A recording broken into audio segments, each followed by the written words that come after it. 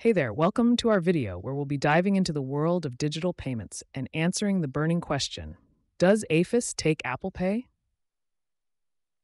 If you're a regular at the Army and Air Force Exchange Service, AAFES, and you're curious about using Apple Pay for your purchases, you've come to the right place. Let's explore the ins and outs of this convenient payment method.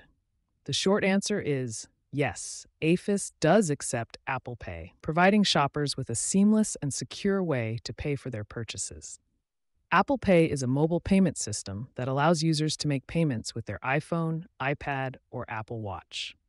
However, it's important to note that while Apple Pay is accepted at AAFES, not all terminals may be compatible with this payment method yet, so it may not be available at every checkout counter.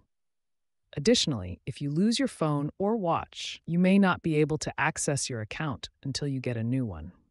In addition to Apple Pay, AAFES customers can also use cash, debit credit cards, including American Express, military star cards, and gift cards as forms of payment.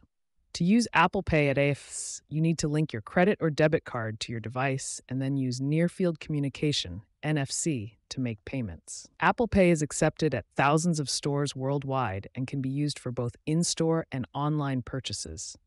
Using Apple Pay at AAFES offers many benefits for shoppers.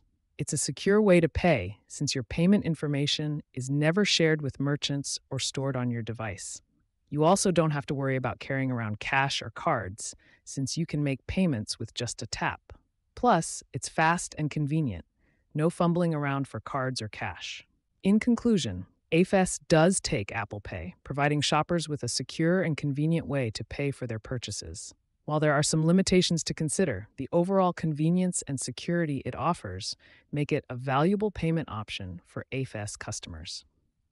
We hope this video has been informative and helpful. Thank you for watching.